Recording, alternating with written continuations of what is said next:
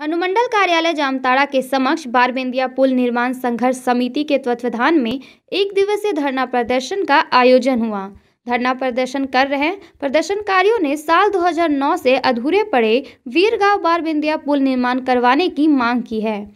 बताते चले कि ग्रामीण विकास विभाग धनबाद से 20 जनवरी 2008 को पुल निर्माण आरंभ हुआ था। इस बीच 20 अगस्त 2009 को निर्माण के दौरान ही वीरगांव बारबेंदिया पुल का दो पिलर पानी में बह गया, जबकि दो अन्य पिलर पानी के तेज भाव से झुक गया।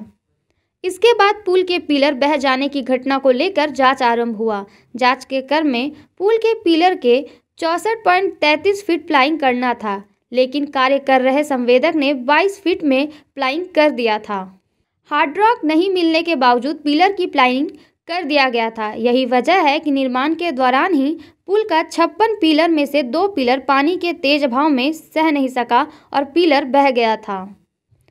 पुल की लंबाई 1433 मीटर उस समय रखी गई थी। मौके पर पुल निर्माण संघर्ष समिति के अध्यक्ष अशोक महतो ने कहा कि अधूरे पुल होने के कारण जामताड़ा ज़िले के लोगों को निरसा जाने के लिए 35 किलोमीटर अधिक दूरी तय करनी पड़ती है। यानी कि बीरगांव बारबेंदिया के रास्ते जामताड़ा व निरसा के बीच की दूरी महज 25 किलोमीटर है, जबकि चितरंजन मैथन के रास्ते घूमकर निरसा जाने के लिए 60 किलोमीटर की दूरी तय करनी पड़ती है। लिहाजा साहेबगंज, दुमका, जामताड़ा व संथाल प्रंगना के अन्य ज़िले के लोगों को निरसा जीटी रोड तक पहुँचने के लिए 35 किलोमीटर अधिक दूरी तय करनी पड़ रही है। नहीं तो जान जोखिम में डालकर नाव के सहारे बारबेंदिया पहुँचना पड़ता है। इस दौरान हादसे का भी भय सताता रहता है। हम बारबेंदिया पुल निर्माण संघर्ष समिति की बैनर तले हम लोग यहाँ बैठे हैं और लगातार यह प्रयास कर रहे हैं कि हमारा जो बारबेंदिया में पुल निर्माण होना था, वो किसी कारणवश अधूरा रह गया। और सरकार से ये हम लोग द्विसूत्री मांग रखते हैं कि ये जल्द से जल्द उस अधूरे पुल को किसी भी हाल में वो पूरा करें और एक, इसके बाद एक उच्च स्तरीय पुल वहाँ निर्माण हो, जिससे लोगों को भविष्य में आने जाने का और इस क्षेत्र के विकास के लिए वो रास्ता खुल सके। तो सरकार से हम लोग लगातार यह प्रयास है यह मांग करते आ रहे हैं। ये हमारा लोकतांत्रिक अधिकार है धरना प्रदर्शन के माध्यम से कि हम इस मांग को जो है सरकार को बढ़िया से बताए और सरकार इस मांग पर जल्द से जल्द पहल करे।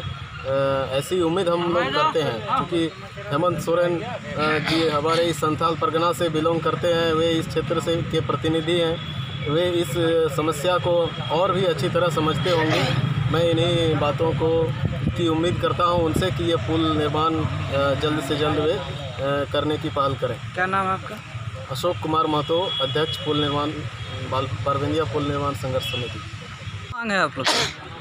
आज हम लोग अनुमंडल पदाधिकारी कार्यालय के समक्ष एक दिवसीय धरना के लिए बैठे हैं कि बाराबंदिया पुल निर्माण संघर्ष समिति की ओर से ये दूसरी बैठक हम लोग का धरना है। इसके पहले हम लोग पुल के समक्ष भी धरना दे चुके हैं।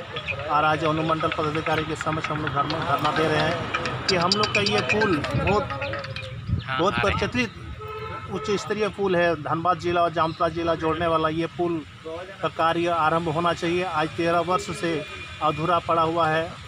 उसी के लिए हम लोग धरना प्रदर्शन कर रहे हैं कि पुल का निर्माण हो। राज्य सरकार से हम लोग हाँ, सी एम से हम लोग अनुरोध करते हैं सबसे कि जिसे पुल जल्द से जल्द बन जाए। क्या नाम है? आवेदन अंसारी।